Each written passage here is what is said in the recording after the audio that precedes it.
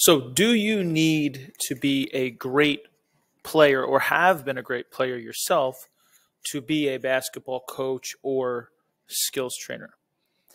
That's what we're going to talk about in today's video. My name is Nick Aldiero. I'm a client success coach, success coach with Make Money Coaching Sports, where we help coaches grow their business to six figures plus per year, um, help more kids, um, and live their dream of helping others in the sport that they absolutely love to coach. Um, so if you're looking to connect after this, you can text me at the number behind me, 732-908-2315. Text me the word grow, or you can schedule a call on the calendar below. So do you need to be a great basketball player yourself or have had a great career to be a basketball skills trainer or coach? Uh, the answer to that, if you you know, you could probably stop watching this video right now if you want to, is is no, you don't. And and the reason for that is you could be a great player. Let's talk about like let's say Allen Iverson. Do you think Allen Iverson could teach other people what he could do? Most likely not. Uh, could J.R. Smith teach his abilities to somebody else? Um, and there's I'm just picking names out that I don't think would be a great coach. But I mean, I, I, could be wrong. But if I had to guess, I would say certain players that are really, really good, and I've come across them at you know the college level and, and just meeting other people. Um, just because you're the best player doesn't mean you're the best coach, and you don't have to have been the best player on your team to be a good coach. A great coach or trainer studies the game, right? They are a great communicator um, they're able to talk about what people do who are very, very good at the game. So they might be able to show you a video and point out these little details. Let's say they have a Kyrie Irving video, and they might be able to show a player, hey, look the way he turns his foot this way. Look at the position of his shoulders, right? He doesn't have to be like Kyrie himself. As long as he can explain to his player, the person he's working with, um, how he can he or she can improve. Now, does it does it give you a little bit more validity at first if you're good yourself? It could help, right? At first.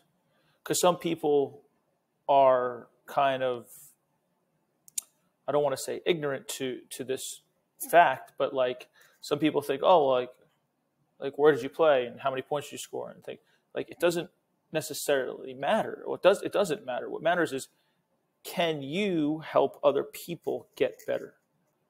Right? Your playing career doesn't really have to do with that. Does it look better at first? Probably, but if you are only relying on, hey, I played Division One and I scored this many points, and you should come train with me, like if I'm looking for a coach or a trainer, I am not um, if somebody is leading with that, that's not a good sign. Because what they're saying is, look at what I did, not how I can help your kid. Just because you played at a certain level doesn't mean you can help that child get to that level. Unless you're a good teacher, you communicate really well, um, you study the game, right? You're analytical, you break things down, you teach in detail. Like being good, physically talented, doesn't translate most, even most times, it doesn't even translate most times.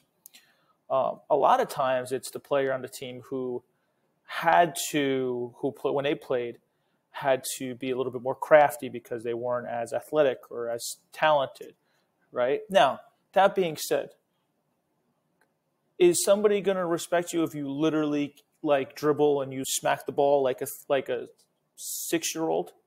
Probably not right? Of course, there's some level of like, hey, dude, are you like a complete like spaz when you uh, you can't literally can't even like walk and chew gum here? Well, I mean, and I'm not talking about people with um, disabilities, of course, because um, you could be somebody with a disability and still be a, a great coach. You just have to. You might just have to show somebody else doing it or mimic the actions slow with no ball right? You don't have to be a great player. Um, that's only that only helps like your playing resume when people like first like, oh yeah, yeah, I'm gonna play with, I'm gonna train with so and so. He was in the the G League, right? But then if you train with the person, you're like, this guy, it's not a great coach. Like, he talks about himself and how what he used to do. I'm like, that doesn't that doesn't do anything for you. It's not about coach. It's about how can coach help you. And if he can't articulate and explain and communicate effectively, it doesn't really matter that he played at UCLA and went to the G League and went to the, like. Um, can you be at that high level of player and still be a great communicator? Of course, that's like that's only like icing on the cake. That's like extra. It's cool, it's great, but it's like doesn't have to do with the kid, right? Everything's about the kid. Can you make the kid better? That's it. That's what people care about. So I know this video is longer than it has to be, but if you're looking to grow your business, like, and I'm not talking about like, hey, I want to make some extra money as a side hustle. Like, I'm not talking to, I'm not talking to those people. I'm talking to people like, hey, I want to quit my job because I love coaching basketball so much and I want to do this full time.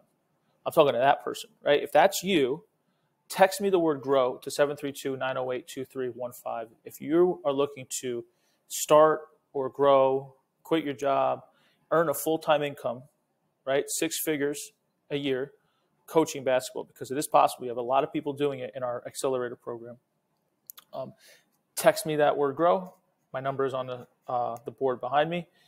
Um, you can also schedule a call. And in the description, you can click a link that says, How do we help players?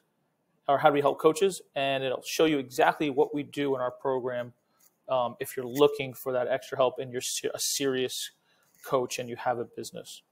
Okay, I'll see you next video.